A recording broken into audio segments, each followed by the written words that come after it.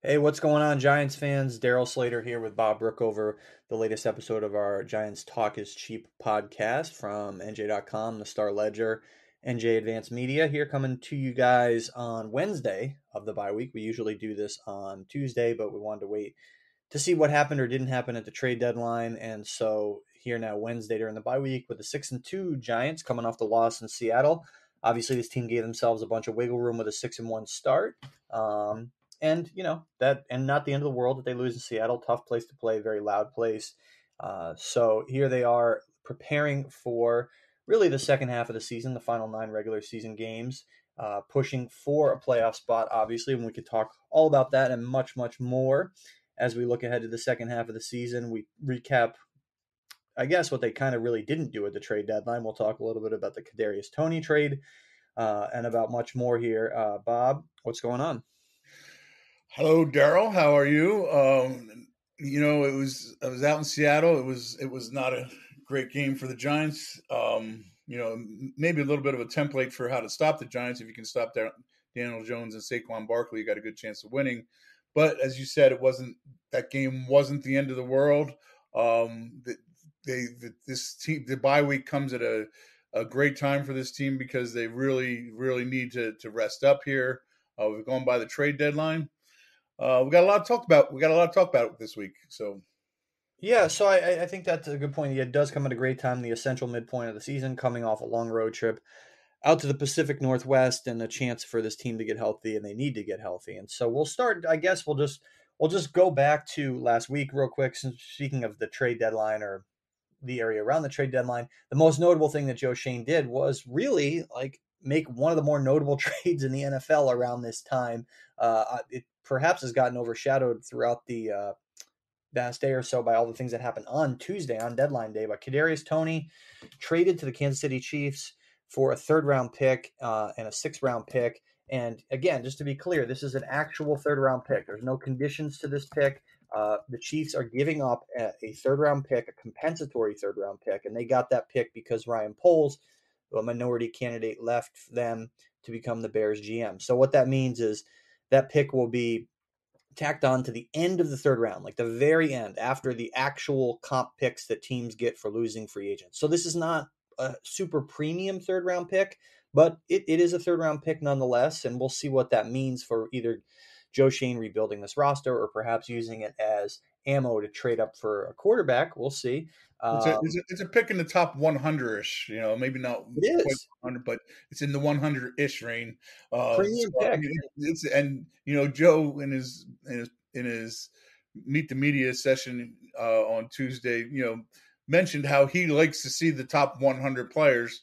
So you, you know, he's that pick really matters to him a lot. Yep, it's it's a premium pick no matter how you slice it, and we'll see what they do with it.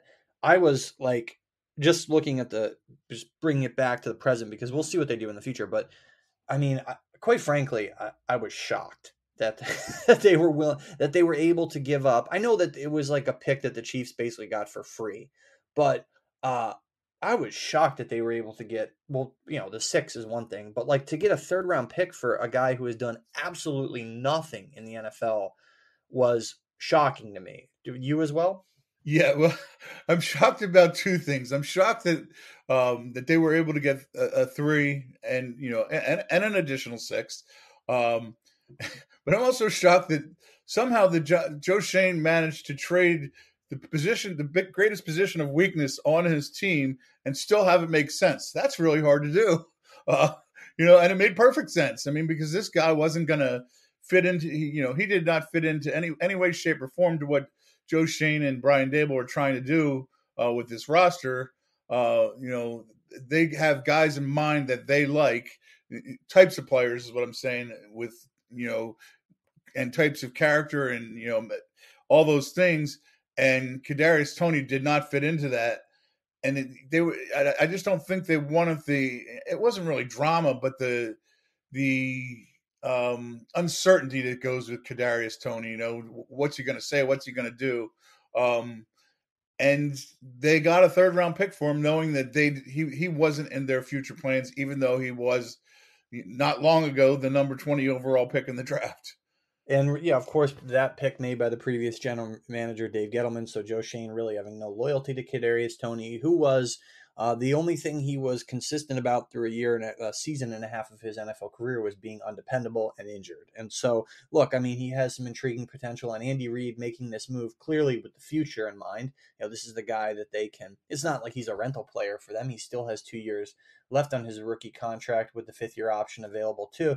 So, um, they, you know, the, the Chiefs making this move with the future in mind, and um, Joe Schoen able to get rid of a player who was injury prone, undependable. And I think you can look at it and say, well, you know, he's a guy who could have helped them down the stretch um, because they are a little thin at receiver and they are also pushing for a playoff spot. But there's also the chance that he wasn't going to help them because what evidence has he we've seen have we seen so far in terms of number one his health and number two his uh, consistency of production or lack thereof that he that he's been a, that he's going to be a functional r- receiver. And so um if it honestly like it would be one thing like if they had moved him for a seventh round pick it's like oh geez well why not, why not just like hang on to him wait and see? But if you're Joe Schoen, how can you turn down that offer right for a third round pick?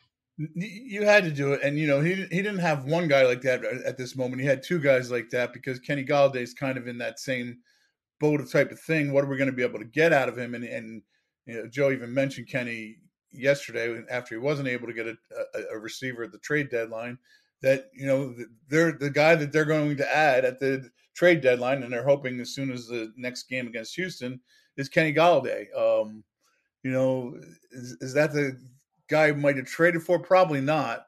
But you know that's that that's their best hope for finding somebody who can make some plays for them. Is it is it a faint hope? I, I think so a little bit, yeah but eh, you know it is a guy who has a track record and has done well before and it it can't hurt to get him back and see if he can if he can help them you know. The one thing kenny golladay said uh, when he spoke re- most recently was how badly he wanted to play on a good team because he's never played really on a good team. He's, i think his rookie year the lions were nine and seven and after that they were pretty much battling the Giants for one of the worst records in the league every year.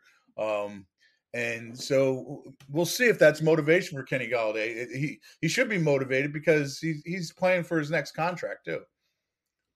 Yeah, and he he almost certainly will not be here next year, and so um, that it'll be interesting to see what what happens with Kenny Golladay. But in terms of receivers, the Giants obviously thin there, um, and now Kadarius Toney's return is not even an option because they traded him away.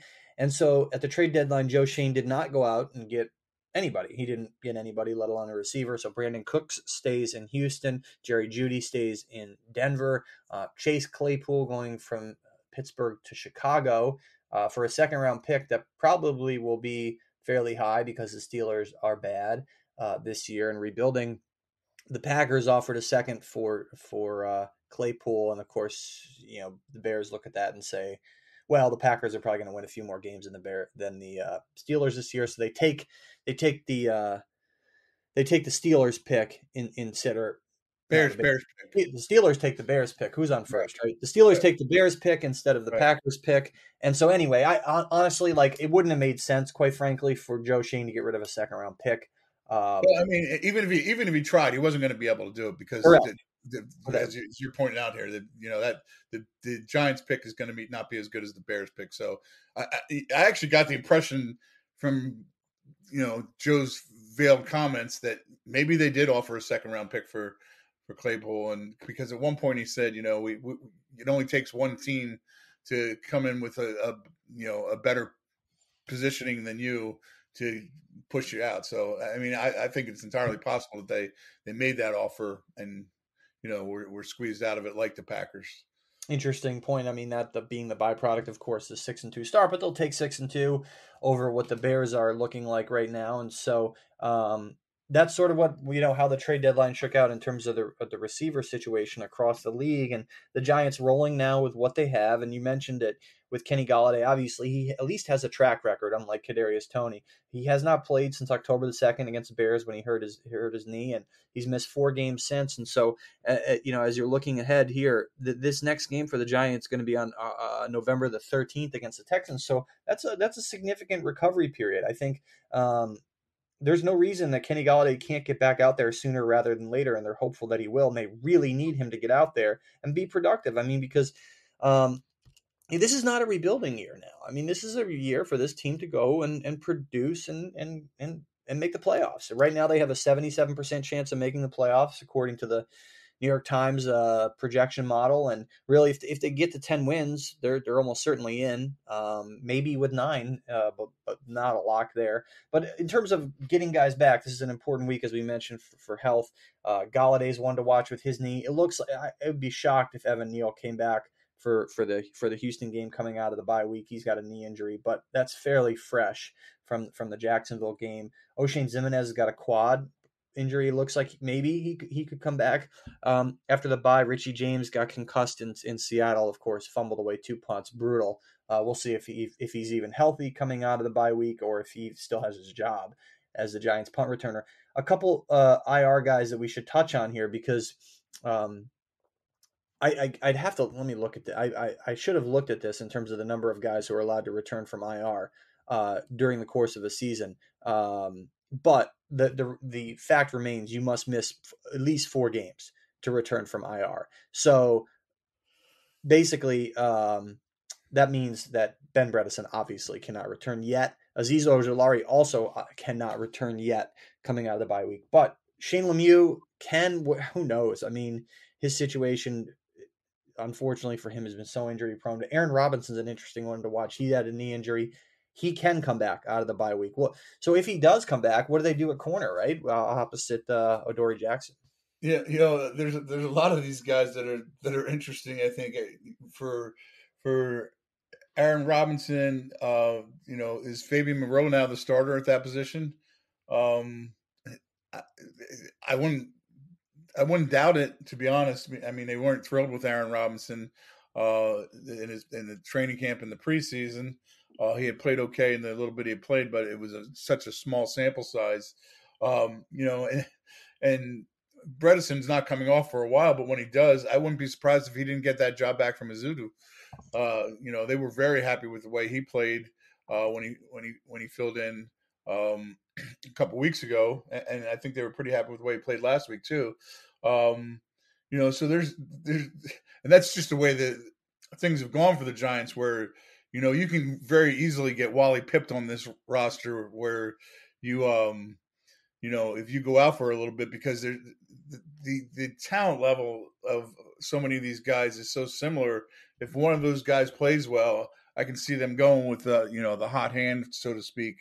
Um, you know, but but just to get some bodies back would be good for them, especially it, Ximines at the outside linebacker. Azeez isn't eligible yet, but that that you know they need some guys on that outside pass rush to to really help them. That's been a thing I think they've really been missing in recent weeks. Yeah, as far as Aaron Robinson goes, I mean, he's only played two games this year. He he like Kenny Golladay has not played since October the second against the Bears. Remember, you know, third round pick just a year ago, but not a Joe Schoen third round pick. So uh, I would not be surprised, like you said, if if he did not um, get his job back. You know, but he'll be in the mix, of course. A young player. I, am Brett or Ezeudu was their pick. You know, he was a third round pick, and so I, am sure there's some more loyalty there over Bredeson and. Um, you mentioned it, uh, how he played in Jacksonville and Seattle well, um, getting a lot of snaps in Jacksonville and then uh, starting in Seattle, um, that being Ezeudu. Uh, and he, he graded out. I'm looking at his PFF grades. You know, he was he was much better, uh, much better, especially in pass blocking um, these past couple weeks. So uh, I'm sure. I had, long, I had, a long, talk with him last week, yeah. and he, he just talked about how getting that time to just work on his technique was so helpful to him. Uh, it, it, it, it was he was good to talk to, and you know how he, interestingly you said Bredeson helped him a lot, just telling him some things about how he could get better. Um, you know, he, but he talked about being able to work with uh, Bobby Johnson and Tony Sparano Jr. and just you know make make rather than worrying about you know am I going to play or not, just focusing entirely on what he needed to do to be a better offensive lineman. It, you know, you could tell he felt like he was a lot better. Yeah, and in case you know people had forgotten, the Giants rotated at left guard Ezeudu and Ben Bredeson Uh, again, it's not like Ben Bredeson is some star. Um, so Ezeudu could clearly pass him here coming out of the bye. But they rotated the first two games in Tennessee and Carolina, and Ezeudu really struggled. And so he didn't play. Ezeudu didn't play in, in, the, in week three.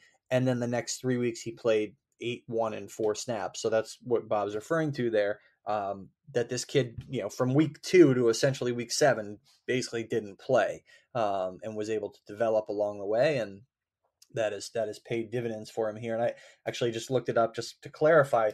Uh, the NFL now allows eight players to return from IR uh, during the course of a season, or you can return guys eight times. So a guy can return twice, but it counts as two of those spots. So uh, I don't know if they've brought back anyone from IR yet. I well, I, Smith. Last week they did. Yeah. So, the, but they have some. They have a significant amount of wiggle. Yeah, they've got they've got wiggle room for for sure for for guys like Ben Bredeson, for Azeez yeah. Ojulari, Aaron Robinson, and, and, like I said, maybe Shane Lemieux, who was going to be the starting left guard. And so, uh, like we said, that it's not just about the Kenny Golladay situation, Neal having another week to heal, Ximines, Richie James. It's about these guys who maybe you guys have forgotten about some of these players like Aaron Robinson who are uh, sitting there on IR, but that's another opportunity for uh, some healing to be done during this extra week, even though, as I said, uh, it doesn't count for the IR situation. You have to miss four games. So the bye week doesn't count as a game. So um, that's where they're at. In terms of all those injuries, another thing that Joe Schoen mentioned I thought was interesting, and we can we can kind of recap his his presser with some of the other things that he said now. Uh, were, were, was looking ahead to contract extensions, and I thought he had a good approach there. Like if they don't do an extension during the bye week, they're not going to do it for the rest of the year makes sense.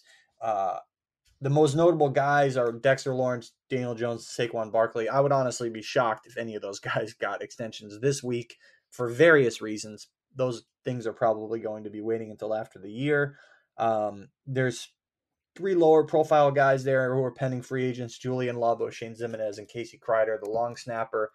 We'll see on those guys, but uh, that is one thing that Joe Schoen mentioned uh, without mentioning guys by name, really, uh, that extensions could get done this week. How did you read into that? Well, my, my read was that if they're going to get done, it's going to be that latter group and uh, not not the former group that you you mentioned. It's not going to be Jones and and Saquon. Uh, that you know, I I think he you know he made he made it clear that he would like. There's a few guys he would like to get done, uh, and but also while also admitting that you know if if those guys don't want to do it, they they're in no way, shape, or form forced to do it. So um, I wouldn't be surprised if if something uh, something got done, but it's not going to be the big names. It's not going to it's not going to make the back page of the tabloids. no, no, and and Casey Kreiter uh, is an interesting one, just because I saw well, some team extended their long snapper this week uh, during the bye week. Rather, it was last week for that team. Um, and Kreiter back on a one year deal this year, which is typically how it works with these long snappers. But you know, by the time next season starts, he's going to be 33. Um, he's in his his uh, let's see, 2020. Uh, so this is his third season with the Giants. Um, and so uh, anyway, but but that's the type of situation that they could be looking at. Uh, what what else did you uh, did you take away from Joe Schoen's uh, rather lengthy press conference yesterday? Yeah, I mean, it's. I think he really tried to get tried to do something at the deadline, but it didn't match up. Uh, you know, I, I I think he is really proud of this team, proud of the coaching staff, proud uh, proud of Brian Daboll's, what they've done, but I don't think his overall view of uh, where the Giants are at in their development changed all that much. Now, he didn't really tip his hand to on and you know basically his answer to well, you know, how do you feel about Daniel Jones and Saquon Barkley, which is the the question surrounding the Giants, uh, was we still got nine games left. Uh, they've played tremendous, really proud of the way they played, really happy with the way they played, but tipped his hand in no way, shape, or form uh, whether they're going to be here beyond this year. So, um, you know that that was the biggest takeaway I had that he's he's still the ultimate scout is still scouting and still evaluating this team. Yeah, great point. Because I mean, Joe Schoen's job is the bigger picture. I mean, right now, especially now that the trade deadline is done, I mean, Joe Schoen doesn't really have a significant role in the rest of the season unless someone gets hurt or whatever, and he has to replace them. But um, the bottom line is this push for ten wins and this push for the first uh, playoff spot for the Giants since 2016 is in the hands of Brian Daboll. Um, Joe Schoen is the big picture guy, um, and so he it's his job to assess and look at this roster. And let's be honest, the roster is still lacking in talent in a lot of significant areas. Um, you know, we we talked a little bit about left guard, but you know the interior line um, is has some significant questions. You know, just especially at center, I wouldn't imagine Jon Feliciano will be back. But there's so many things, and that Joe Schoen has to has to uh, think about and address next offseason, big and small. And of course, the big being Daniel Jones, Saquon Barkley. Uh, what does he do there? And I think it's important to note. You know, people have talked about the franchise tag uh, for one of those guys or the transition tag. And so, just just like real quick, you can only use one of those you can't tag both guys in any way, shape, or form. You either use the franchise tag on one guy or the transition tag on one guy. That's it. You get one tag on one player per offseason. So they're going to have to make a decision on Saquon Barkley and Daniel Jones.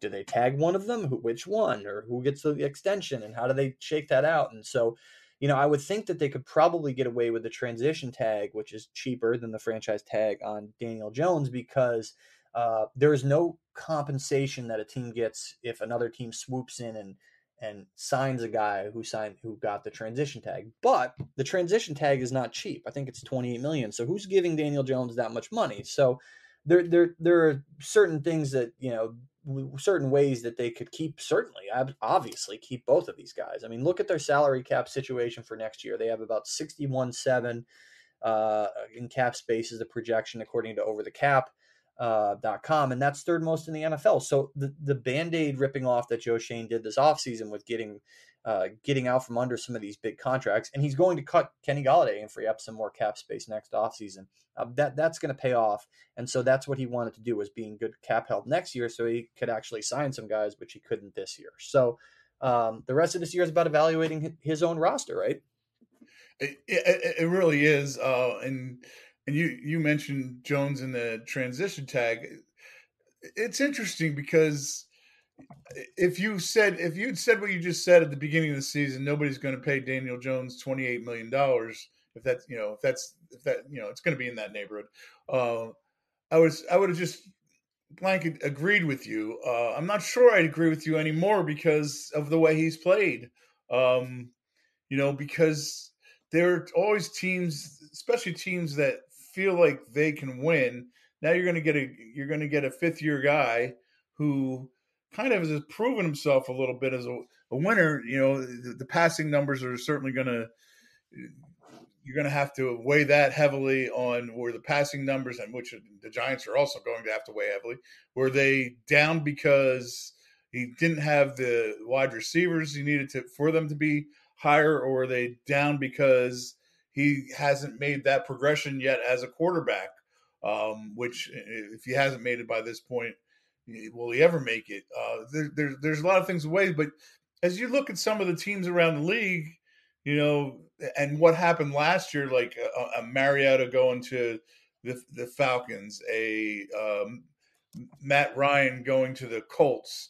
Uh, I, I could see something like a team like that looking and saying, "Hey, you know, maybe Daniel Jones is the guy who can take us to a different level uh, based on the way he's played this year. I could see a team saying that. So I don't think it's as blanket as it was at the beginning of the season. Yeah, no, that's that's fair. Um, and you know, over the cap again is a great resource for this. And I'm just just to confirm what I was just kind of spewing off the cuff. The transition tag is projected to be 28 million dollars for for quarterbacks, and and what about the franchise tag then? So it's actually not much more. It's 31.4. Um, and that's the so that's the non-exclusive tag. The exclusive tag is is much more expensive, and so all that means is that, and all that means is that exclusive tag, they have no, the player has no ability to go sign with another team. Right. The non-exclusive tag is still pretty darn exclusive because a team would have to give up two first-round picks. So we, I think we can agree that no team is going to be giving Daniel Jones that kind of money and giving the Giants two first-round picks. Mm, that um, is exactly right. I mean, oh, there. So that that you know, depending on their own evaluation, that would probably be where they would go just to be the safest. I think. Exactly, and they could they could tag him for what amounts to three and a half million dollars more than the transition and be safe about it. And so, if you have a lot of cap space like the Giants do, like why not spend a little more money to be safe about it? And again, just because they franchise tag him, um, doesn't mean he's going to just be making 30 oh geez he's going to take up 31.4 million of his their cap space next year no that's not necessarily true because they have until the middle of july to negotiate a long-term contract with him and all the franchise tag does is set the floor for that meaning you know whatever contract he's going to get is going to have at least 31 for and fully guaranteed money in it um, and they could structure that so that they can kind of spread it out and for cap purposes and anyway, but that's sort of where they stand with all that. But uh, like we've said here, geez, there's still nine games left in the season for things to go either much better, the same, or much worse than they've gone for Saquon Barkley and Daniel Jones. Which the upshot being, they're not getting extensions this week. they're definitely not getting. Uh, they're still evaluating. That's essentially what it is. So as we we did look obviously looking forward quite a bit there, um, but let's bring it back here and look forward to what the Giants have coming up because you know I know Giants fans certainly care about the Jones and Barkley contract situation, but they also look. This is not just about again, not about forward looking and not about rebuilding. We haven't talked one lick about the draft. Um, I haven't visited Tankathon like one time this year to look at the Giants draft position. That more. website misses you, Darryl. It misses you. you know what? I'll go give him. I'll go give him a click right now. But uh, I mean, I've been on this New York Times uh, playoff percentage site much more. And like I said, 77% chance to make the playoffs, which is down a bit from coming out of the, the Jacksonville game, which makes sense. But still, at six and two and the push for 10 wins, uh, the Giants currently, like if, if the season ended today, we'll do one of those things. They are the sixth seed in the NFC, so the second of the three wild card spots. And um, so that's what this that's what these final nine games is really most immediately about. Trying to make the playoffs and um, they go Texans and Lions coming out of the bye week. They should and both those games at home. There's no reason they should not go two and two and zero. Oh, correct in that stretch. Not not only that, they're must wins. I mean, they they have to win those games uh, if they're. I think if they're going to make the playoffs, I think they really need to probably win both of them. Even though the the, the even though the NFC is uh, what are there one two I think there are five total winning four teams with winning records right now. Four. Yeah, four four teams with winning records. One, two, three, four. No, five. I'm sorry, five teams with winning records. Five teams with winning records. But then you look at it, you know, like a team like the 49ers who just got McCaffrey and are feeling pretty good about themselves. The Rams are defending Super Bowl champs. Uh, you never know if the Packers will, will get it together. Um, you know, the, the same. You know, there are enough teams in there that and I haven't even looked at their schedules. Uh, but the Giants' schedule gets pretty tough after these first two games, so you you better take advantage of what's in front of you immediately. If they lose one or both of these games, all the wiggle room we talked about is, gone. Honestly, I mean that the six and one start gave them quite a bit of wiggle room, and um, they used up a little bit of that by losing in Seattle. And again, there's no shame in losing that game, and um, but you alluded to it after home against Houston, home against Detroit. The Giants go short week down to Dallas for the Thanksgiving game. Uh, extremely challenging game.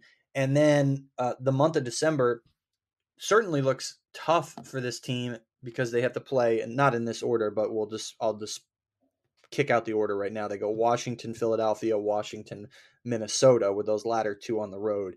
Um, obviously, everyone knows what the Eagles and Vikings have done this year. They've been outstanding. Um, Washington's an interesting one, right? I mean, they don't look quite as maybe inept as you'd think they would, considering their quarterback situation. But they're four and four. I mean, they're not a pushover. Playoff hunt too now. sure. What's that? They're in the playoff hunt now too. I mean, they're looking at the playoffs and saying we can make the playoffs. Uh, very much so. I mean, we talked about the, you know, just because the NFC only has those five teams with winning records, there is a gap right now between uh, the Giants at six and two and the six seed, and the Niners at four and four and the seven seed. But there's a little bit of a logjam after that. You know, Washington four and four, and the Rams at three and four, and the Bucs even at three and five. Packers three and five.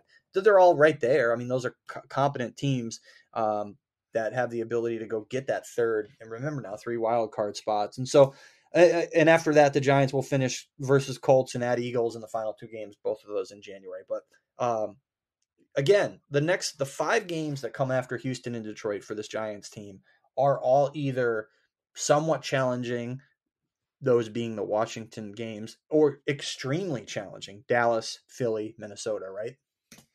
Absolutely. Um, and and this is a league where you you can't you know just because they're playing the the, the Texans and the and the uh, Lions doesn't mean that these are going to be easy wins either in this league. I mean, the, the Texans on in a lot of weeks, like they they went to Jacksonville and won thirteen to six. They gave up six points to that team that that and and really gashed the, the had really gashed the Giants and uh, on defense without scoring a lot of points. Uh, you know, and last week against the Titans, they lost seventeen to ten. Uh, they, they gave up ten or seventeen points to you know played him central is very much the way the Giants played him. So it, it's not like these games are you, you, check them off as definite wins. They the Giants have to go, you know, coming out of a bye, they should beat the Houston Texans, but it's not it's not a gimme. Yeah, they absolutely should. I mean, if this is a if this is a team that wants to make the playoffs, then that's a game that they have to win. There's no doubt about it. But I, I think it's important to remember here that this is still a team. This is still a team with a flawed roster, and still a team that has basically the same roster that we and if you know if not more dinged up than what we saw earlier this year. Um, and so the, the only thing different about is what Joe Joe Schoen mentioned yesterday is they, they lead the league in guys who weren't here when the season started in September and have contributed to this team. You know, between between the rookies and those guys, that's one of the amazing parts of this six and two story is that so many rookies and so many guys who weren't even on the roster when the season started have been played contributing factors to the six and two start and that's coaching. I mean, that gets back to coaching, and Brian Daboll and his staff have done an outstanding job. And um, you know, you mentioned the Texans, and as you were talking about that, I just looked at the Lions. Obviously, you know, oh my gosh, you talk about an inept franchise overall, but like uh, they're one in six this year, and so they they have gotten hammered in a couple games. They lost to the Patriots by twenty nine. They lost to the Cowboys by 18, but last week lost to the Dolphins by four. They lost to Seattle by three. They lost to Minnesota in Minnesota by four, and they lost to the Eagles only by three to start the season. They beat Washington for their lone win by nine points. So uh, again, like if you look at the the Lions and think like, oh, of course, you know the stigma attached to Lions in general, but also one in six. Um, they, you know, Jared Goff stinks, but um, but you know, look, they played two of the best teams in the entire league in the in the Eagles, and then they go to Minnesota, and they played those games very close. So, um, the and so that that that kind of you you see why Dan Campbell is saying that they're that they're close, you know, to kind of getting another win. But uh, of course, Lions got to go play the Packers this week. My gosh, if, if Green Bay loses that game, whew. So, but uh, that's that's another uh, that's another story. But uh, let's let's wrap this up. By we do a prediction, obviously, here at the end every every week. Unless there's anything you else wanted to touch on here, Bob. Anything else? I, think, I think we've covered it all, Darryl. If, if, I'm wrong, I've been wrong before. but we do end with a prediction every. Uh, there's no game, so in every podcast we usually end with a prediction. So the Giants are six and two right now. There's nine games left. Um, we're not going to go Mike Mike and the Mad Dog style week by week here, but um, how about what what will the Giants' final record be? Give me give me your prediction for what their final record will be after their 17th regular season game ends on January the 8th. Well, as I've said before, I picked them to win five at the start of the season, which I was right because they've won six, and so they definitely won five. Um, I, I am going to try to I'm going to use this as a mulligan, but I think they're going to finish 11 and six. So what would that have them going three and four in the second half? Uh, no, five and five and four. I'm sorry, Way five, uh, yeah, you told me there's going to be no math. Uh, five, five and four in the second half. I could, I could see him winning these first two games out, uh, and I can see him beating the Commanders or the, the Commanders once the, the Lions. And I could, I'm also looking at and saying that last game might not mean anything to the Eagles, uh, which could, which would be kind of ironic the way the the 2020 season ended in a, in a really good NFC East they're going to get to play the Eagles with the game not meaning anything to the Eagles in the last game. When you look back at 2020 and the the uh, Jalen Hurts bench bowl, yeah, oh yeah, that would be an interesting way to finish the season. Yeah, and Joe Judge, you know, throwing a tantrum there as, as a result of that. First, as it turned out, of many t- tantrums for Joe Judge. But um, yes, no, uh, uh or the Eagles, or the Eagles could be going for seventeen and zero, and so maybe it won't mean anything unless it means something. Uh, we'll see. Uh, Thursday night in Philly, the Phillies could win the World Series and the Eagles could start 8 0 for the first time in, in franchise history. Uh, so grease up those light poles. Uh, well, the, the, I, I never thought that you'd have two Philadelphia Houston games, and the one that the people in Philadelphia cared about and Houston would be the Phillies and Astros. Yeah, exactly. exactly. Um, I'll go 10 and 7. I'll say the Giants close. Um, what would that 10 be? And 7 is what I, I, said 11 and 6, right? You said 10 and 7. Okay. Yeah, 11 and 6 for you, 10 and 7. So the 4 and 5, those four wins being the next two. I'll give them one against the Commanders, and then I'll give them the Colts game uh, because obviously they're going with Sam Ehlinger there, uh, which I don't think that's altogether surprising. You know, one against the Commanders, I'll say the home game, um, and then Texans, Lions, Colts. So those are games that they should win if you look at the final stretch, and then they'll lose all the games they quote unquote should lose.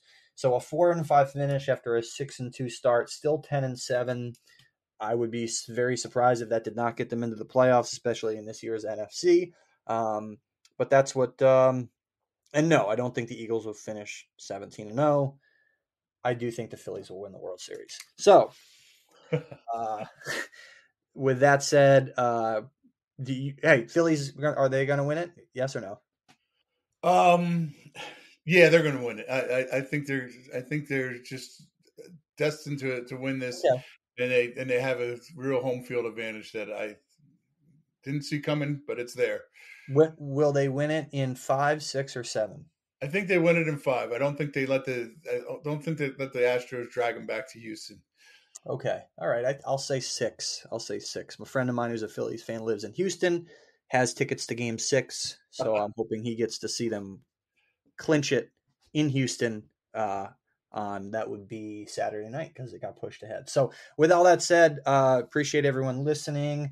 As always, be sure to rate, review, subscribe to us on all your uh, podcasting platforms, and we will be with uh, we'll be back with you guys next week. Um, and maybe uh, won't have quite as much to talk about because there's no game on Sunday. But enjoy uh, whatever you guys are doing uh, this weekend in terms of uh, the Giants being off, whether that's uh, watching other teams or just uh, just hanging out. So thanks again, everyone, for joining us, and we will talk to you guys next week.